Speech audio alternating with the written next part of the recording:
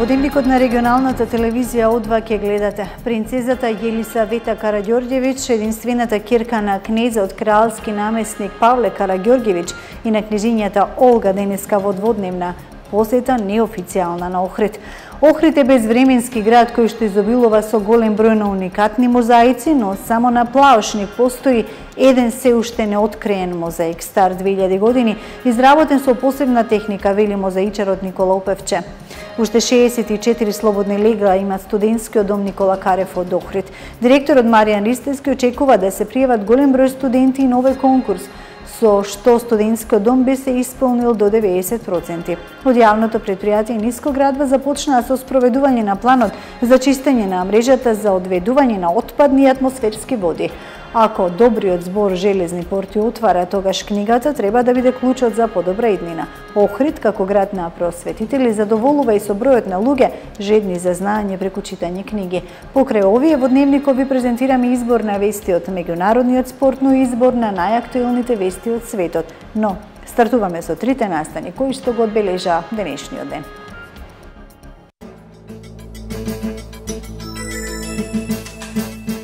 Принцезата Елизавета Караѓорđević во посета на Охрид.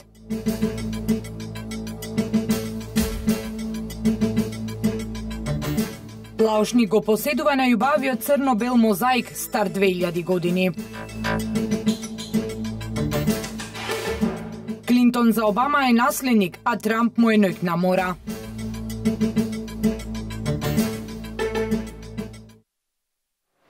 Не го менувајте каналот, почитувани. Првиот дневник на регионалната телевизија од во 16 часот и 30 минути.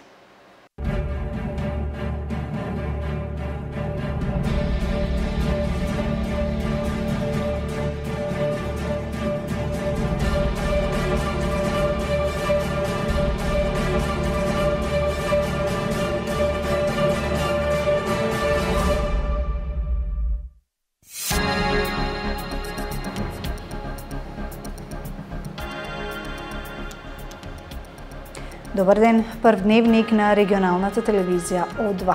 Охрид е безвременски град кој што изобилува со голем број на уникатни мозаици, но само на Плаошник постои еден се уште неоткриен мозаик – стар 2000 години, изработен со посебна техника, вели мозаичарот Никола Упевче.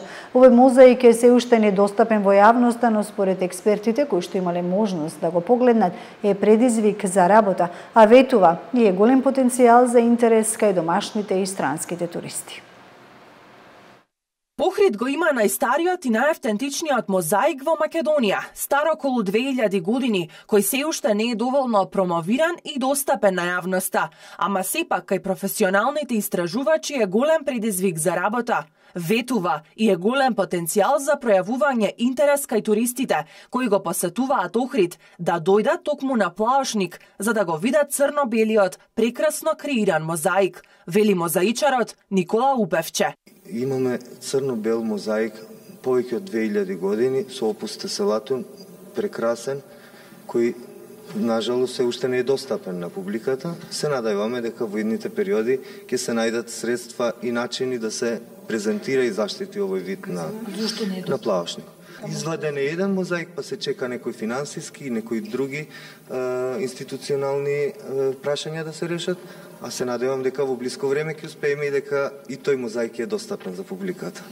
Според него, мозаиците се се уште неистражено и недоволно промовирано поле за кое надлежните институции вложуваат големи напори, таквата ситуација да се промени на подобро. Станува збор за едно поле кое доволно не е истражено. Нашиот напор е да го свртиме вниманието на надлежните институции, да, да се обединиме и некако да почнеме заедно да соработуваме и да работиме понатака не е се уште доволно и се надеваме дека со издавањето на некоја публикација која ќе ги офати нашите предавања би можеле да го промовираме овој вид на наследство. Инаку, токму на тема мозаици, локалната агенција за развој, градот Струга, веќе трета година поред го имплементира проектот Мозаиците на југоисточна Европа, под патронството на УНЕСКО и кром мисијата за таргетирање на видливоста на светското културно наследство во регионот на југоисточна Европа.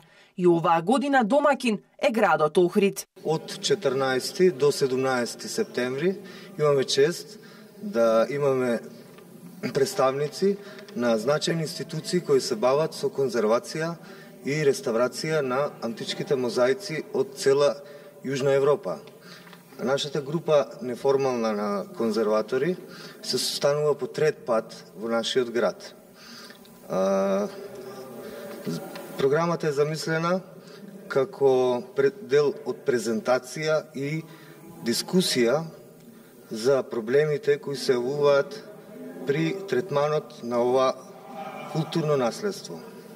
Настарот ќе трае до 17 месецов, а нуди ретка можност за представување на нашите културни богатства на висок круг на експерти од областа на заштитата на светското културно наследство. Учесниците се водечки експерти во областа на заштитата на мозаикот од Австрија, Италија, Франција, Шпанија и представници конзерватори и реставратори од институциите на сите земји од југоисточна Европа. Принцезата Јелисавета Караѓорđевиќ, единствената кирка на кнезот кралски наместник Павле Караѓорѓевиќ и на кнегињата Олга, денеска во дводневна неофицијална посета на Охрид. На Охридскиот аеродром ја пречека делегација на Обштина Охрид. Принцезата Јелисавета Караѓоргевиќ во дводневна посета на Охрид. На Охридскиот аеродром ја причека официјална делегација на општина Охрид, предводена од председавачот на општината Гордана Коњановска. Планирано е принцезата Јелисавета да има куса прошетка низ градот, да ги посети најзначајните културно-историски споменици во стариот дел на Охрид, а ќе ги посети и продавниците за филигран и за охридски бисер. Па хочу све да видим. Сакам да видам се, сакам да го видам Светинаум, сакам да го видам вашиот убав град и сакам да пливам во Охридското езеро, но не сум баш сигурна поради тоа што веќе е крај на сезоната и може би водата ќе биде студена. Ви благодарам за вашиот преубав дочек и преубавото цвеќе. Восхитена сум. Принцезата слушала многу за вкусот на македонските вина и македонското сирење, како и културно-историските вредности и се вкупните туристички потенцијали на Македонија, па е чест гостин на нашиот туристички бисер. Токму поради тоа домајкинот Охрид ќе се погрежи на свечена вечера да ги понуди сите специјалитети кои ги нуди Охрид како туристичко место а, имаме редка можност да бидеме домакини и а, да ја пречекаме на Охридскиот аеродром, низиното кралско височество, а, Елисавета Караджорджевич. А, се разбира а, големо е задоволството што Охрид станува дестинација покрај на многу познати имиња од светот на уметноста, од светот на бизнисот, од светот на политиката, еве и на видни благородници, овој пат од соседството, од Република Србија, сите тие, вклучително и незиното кралско височество, која што пристигна денес, се и о, најдобрите амбасадори на нашиот град. Охрид е дефинитивно град кој што заслужува вакви гости и јас се надевам дека тие во круговите во кои што се движат, на местата на кои што одат, ќе знаат на најдобар начин да го промовираат и нашиот град и убавините кои што ги поседува тој и секако нашето гостопримство. Принцезата Јелисавета е родена во Белград како единствена керка на југословенскиот кнез Павле и на грчко-данската кнегиња Олга. Незин постар брат е принцот Александар. Таа е во второстепено сродство со шпанската кралица Софија и со принцот Чарлс од Вилс, а исто така е роднина и со принцот Майкл, сегашен војвода од Кент, и со принцезата Александра од Кент. Потомак е на српската кралска династија која владеела со Србија, а потоа и со кралствата СХС и Југославија. Принцезата Јелисавета денес е дел од јавниот живот на Србија и зад себе има четири книги за деца. Таа е и креатор на парфем кој се продава ширум светот. Принцезата во Швајцарија е добитник и на наградата Форум за нуклеарно разоружување, награда која ја има добиено меѓу другите и рускиот председател Владимир Путин за огромни придонеси за постигнување на меѓународен мир. Во тек е вториот конкурс за прием на студенти во студентските домови низ Македонија. Уште 64 слободни легла има студентскиот дом Никола Карев од Охрид. Директорот Маријан Ристевски очекува да се пријават голем број студенти на овој конкурс, со што студентскиот дом би се исполнил до 90%. Охридскиот студентски дом и оваа година нуди одлични услови за студентите кои што ќе престојуваат во него. Уште 64 слободни легла има во Охридскиот студентски дом Никола Карев. Според директорот Маријан Ристевски, студентскиот дом и оваа година нуди одлични услови за сите студенти кои ќе престојуваат тука. Во меѓувреме активен е и вториот конкурс за прием на студенти по електронски пат. Веќе во теке вториот конкурс, тече во кој што ќе можат оние кои што имале или погрешна апликација или не навремено доставиле документи или имале погрешка во, во, во документацијата, ќе можат повторно да аплицираат на овој втор конкурс а, и да си го остварат своето право на сместување во нашиот дом. На конкурсот за прием на студенти во државните студентски домови и други објекти за сместување во Република Македонија за студиската 2016-2017 година имаат право да конкурираат сите студенти запишани на додипломски студии од прв циклус на јавните и приватните универзитети и високообразовни установи во Република Македонија, кои сакаат да го остварат правото на сместување во студентски домови. Во Државниот студентски дом Никола Каре во Охрид за оваа студиска година беа планирани 231 легло. На првиот конкурс а, се сместија 167 студенти, од кои 68 се интернационални студенти. Инаку вториот конкурс ке трае до 29 септември, а според директорот Ристески и на овој конкурс се очекува да се пријават одредена група студенти со што годината ќе се заврши со над 90% исполнетост на нивниот капацитет.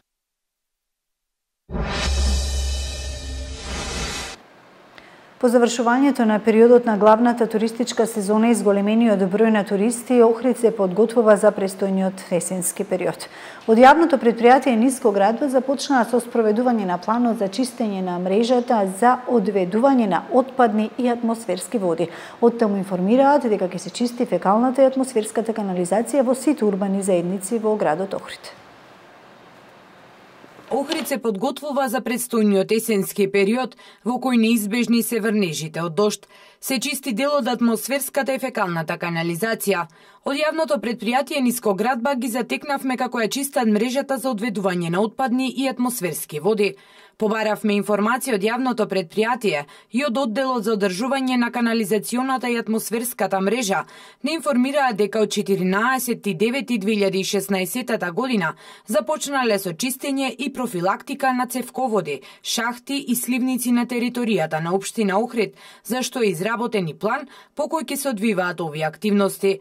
Овој план опфаќа чистење на фекалната и атмосферска канализација во градот Охрид и тоа во сите урбани заедници во централното и периферното подрачје. Агенцијата за аудио и аудиовизуелни медиумски услуги денеска беше домакин на работната средба со членовите на Државната изборна комисија. Во фокусот на состанокот беа потврдени заложбите за натамошната соработка во согласност со меморандумот за соработка подпишан во февруари годинава. И двете страни заклучија дека соработката досега е одлична и така треба и да проложи со што ќе се допринесе да се создадат услови за фери и демократски избори. Меѓусебно информирање за досегашните активности, како и напорите насочени кон подигнување на нивото на почитување на изборната регулатива, беше темата на средбата на Агенцијата за аудио и аудиовизуелни медиумски услуги со членовите на Државната изборна комисија. На средбата уште еднаш беа потврдени заложбите за натамошна соработка во согласност со меморандумот за соработка подпишан во февруари годинава. Се надеваме дека таа соработка ќе продолжи и помошта која што би ни била потребна евентуално во овој период, многу значаен период кога треба да се спроведат изборите на 11 декември, да заврши политичката криза. Соработката ќе биде необходна, помошта исто така ќе ни биде необходна и ќе дадеме максимум и како агенција и како ДИК да не бидеме никаква пречка за спроведување на фери демократски избори, туку напротив да бидеме едни од чинителите кои ќе допринесат да се создадат услови и амбиент за спроведување на фер и демократски избори. Од почетокот на мониторингот на медиумско известување во пресред на изборите во декември 2016 година, агенцијата повторно започна да и доставува на Државната изборна комисија седмични извештаи за сите преземени активности. Со почетокот на кампањата ќе се испраќаат дневни извештаи. Сите материјали добиени од агенцијата, Државната изборна комисија ги објавува на својата веб страна, За поедноставен проток на информации, агенцијата на својата веб страна постави банер за изборите во декември 2016 година, во кој ќе бидат објавувани сите извештаи кои се доставуваат до Државната изборна комисија, како и документи, материјали, податоци и информации во врска со изборниот процес, вклучувајќи ги извештаите од мониторингот и од констатираните прекршувања и предлозите за постапување од привремената комисија за следење на медиумското представување представување. Оваа средба е во насока на реафирмирање на меморандумот за соработка кој веќе го подпишавме. Сакам да истакнам дека освен правната рамка и институционалните капацитети, меѓусебната соработка помеѓу институциите се клучен фактор за обезбедување услови за слободни фер избори. Досегашната меѓусебна соработка беше позитивно оценета. Двете страни се согласија дека во периодот кој следи ќе продолжат максимално да се залагаат за професионално исполнување на заедничките обврски и почитување на изборната регулатива со цел спроведување слободни фер и демократски избори во Република Македонија. Заврши рокот и можноста граѓаните да ги подигнат решенијата за присилна наплата на радиодифузната такса и да се спасат од канџите на извршителите кои што три дена после објавувањето на листата на должници во службен весник ќе почнат со најавената блокада на банкарските сметки. Истече рокот за подмирување на долговите за неплатена радиодифузна такса. Граѓаните кои заклучно со вчера до 14 часот подмирија барем три заостанати сметки, ќе останат далеко од главоболките поради блокада на банкарските сметки, која следува три дена откако списокот на должници ќе биде објавен во службен весник на Република Македонија. Од денешните сумирани податоци на управата за јавни приходи, 85.790 граѓани се нашле на листата како должници кои ќе бидат подложни за присилна наплата на радиодифузна такса. Нивните имиња ќе бидат објавени во службен весник, а три дена пота управата ќе почне со блокирање на банкарските сметки. За подсетување, со ваквата мерка нема да се соочат само оние кои лично до управата за јавни приходи доставиле документи за платени сметки. Граѓаните можат да проверат дали се нашле на списокот на должници, кој е објавен на официјалниот сајт на управата за јавни приходи. Ако добриот збор Железни порти отвара, тогаш книгата треба да биде клучот за подобра иднина. Охрид како град на просветители задоволува и со бројот на луѓе жедни за знаење преку читање книги. Според продавачите на книги, охриѓани сакаат да читаат дела од различни жанрови, но сепак најинтересни им се бестселерите, верските и психолошките романи. Од македонската литература на прво место ги ставаат делата на безвременскиот Венко Андоновски. Луѓето во Охрид, како град на просветителите, сакаат да читаат книги, вели Бобан Јанков, кој три и пол месеци оваа сезона со својот тим, десета година поред продава книги во строгиот центар на градот. Според него ова лето најпродавани се странските бестселери, историските романи, како и верската литература.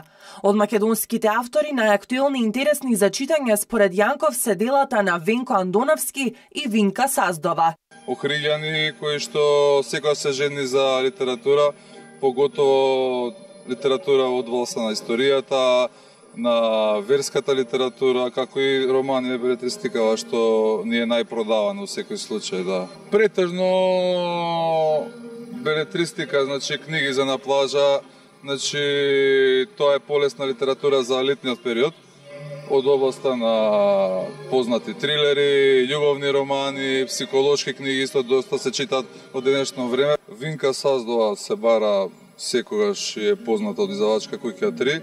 Венко Андоновски тој е веќе како класика на македонските автори.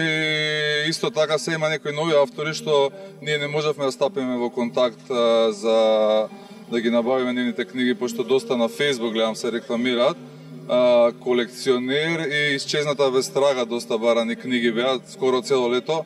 Охрид град како град луѓето доста читаат, доста сакаат да читаат, Во однос на тоа колку луѓето се спремни да потрошат денар на некоја книга, тој вели дека најмногу интерес за читање имаат луѓе кои се слаби на финансии, па тука се јавува мал проблем, додека оние со длабок джеб па и не се баш заинтересирани за читање. Секогаш парите се проблем, зашто претежно луѓето што се што сакаат да читат немаат толку финанси, А Иронично е луѓето што имаат финанси пославо читаат, пошто се зафатени со бизнис и така натаму.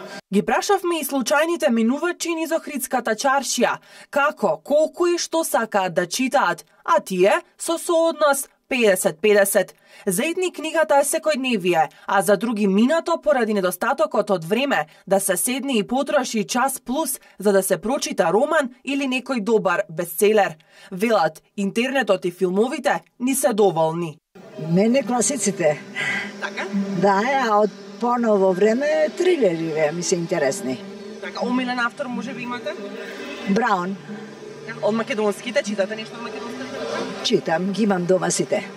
Омилена книга од македонските? Пиреј. Ако имам време, ама пошто немат време, не може да се стигнете, иначе најдобро е да се чита книги. Која литература е вака ви е поинтересна? Секоја литература е Само што не останува време за ништо. Добро, еве порано да кажеме во младоста, дали сте читале повеќе книги? Многу, многу, многу. Извоили ли некоја како ваша омилена?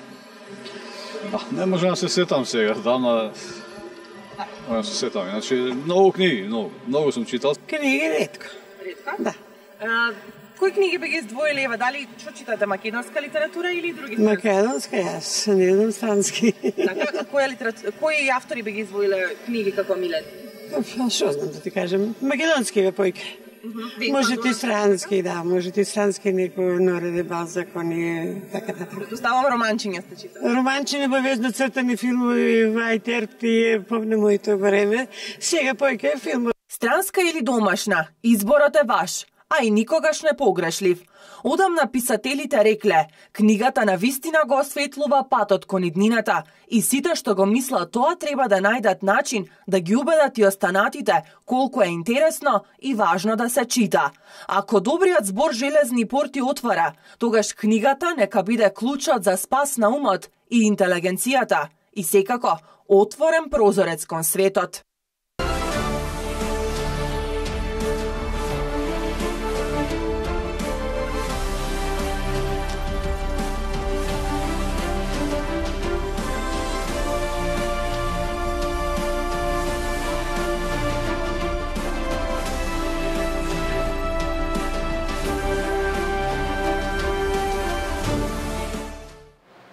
Се одржаа и финалните надпревари на мемориалниот турнир Климент Колески. Екипата на Вила Хармонија совлада екипата на Црна река и го освои третото место.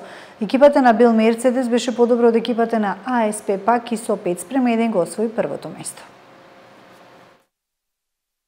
Многу голови, безброј возбудувања, радост и тага на финалните надпревари на вториот поред мемориален турнир Климент Колески. Вкупно 12 голови имаше во финалните надпревари.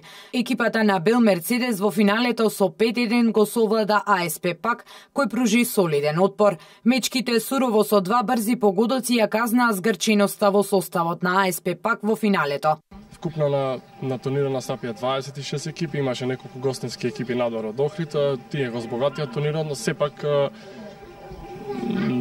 грото беше Охридско, што е секако за пофалба и настапија, може да се каже, најдобрите најдобрите екипи што им можат да се пријават тука од Охрид. Мечот за третото место се решаваше по изведувањето на пеналите. По 16 изведени пенали екипата на Вила Хармони излезе како победник и го освои бронзениот медал. На, на турнирот, значи, главната награда е 150.000 денари, но втората е 80.000 денари, третата за трето место е 40.000 денари, но вреди, но вреди да се има и за четврта позиција 10.000 денари, но вреди да се помене напомене дека овој турнир е мемориален за нашиот другар Климен Колески. Дополнителен шмек на финалето на второто издание на мемориалниот турнир и даде странната уметничка Елена Велевска, која е испеа националната македонска химна и ги одликуваше најдобрите и победниците на турнирот.